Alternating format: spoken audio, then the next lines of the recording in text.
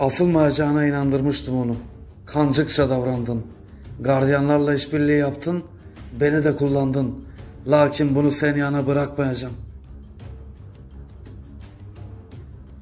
Çamaşırhane ile Çağacağı, Çakır ile İsmail'in ve tüm yoksunlarındır. Ben de yanlarındayım. Sıkıysa gırk deyin. Gene iftiratını da göreyim. Kaç kuruşluk erkeksiniz.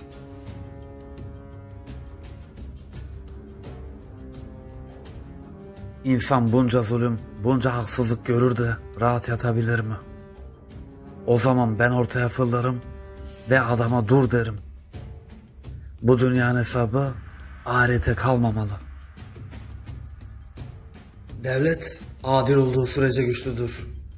Hükümet adamları kanun çerçevesinde kaldıkları zaman sözleri geçerlidir. Koridorları sevdim. Ceza istediği kadar uzun olsun. Yeter ki koridorlar kısa olmasın. İnsan bir kere yürümeye durdu muydu her şeyleri unutur.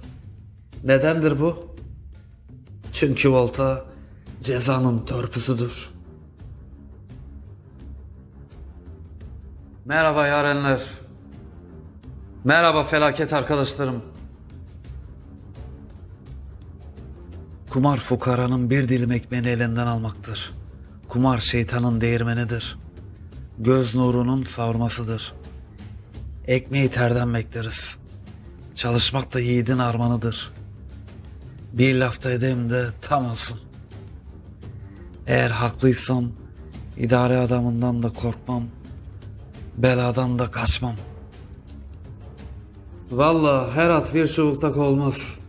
Her yiğidin de bir yoğurt işi vardır. Bana karışana ben hayli hayli karışırım. Ben köpeği bile aşağılamam. Allah yaratmış. Ama insanların köpekleşmesi beni çıldırtıyor. Bu kilidi birini açıp öbürünü açmadın mı?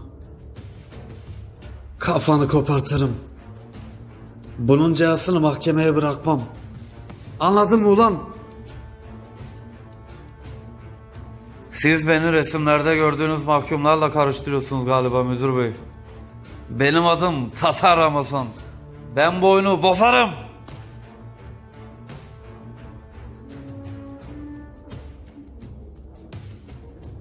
Senden esaslı bir bıçak istiyorum. Hasmıma sallayınca dönmeyen cistan olmalı. Çünkü ben adama iki bıçak sallamam. Gel dedin. Geldim Abdurrahman Çavuş. Gir ulan odana hilekar köpek. Nereye gidiyorsun? Ben idareyen aslanı vurdum işte. Daha önce neredeydiniz? Tutun bacaklarını kışınıza sokun şimdi. İçeri diyorum sana. Baş mısın kış mısın ne boksun? Nasıl da insan oldunuz bıçak meydana çıkınca? Çavuş haraç alır, kumar oynatır, zavallı bir ihtiyarı tokatlar. Siz meydanda yoksunuz. Öyle ya. Çavuş buradayken size ne lüzum var? O dirayetli adam olmazsa bu cahil milleti kim idare edecek? Rezil. Pesevekler.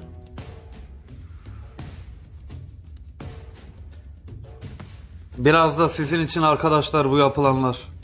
Biz çavuşun kirli işlerine göz yummuş olsaydık ne lüzum vardı kan dökmeye? Gül gibi geçinir giderdik.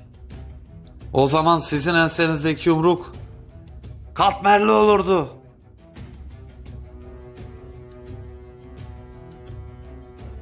Burada vurulacak birisi vardı. Onu da ben vurdum. Benim adım Tatar Ramazan. Gücün varsa gelip alsana.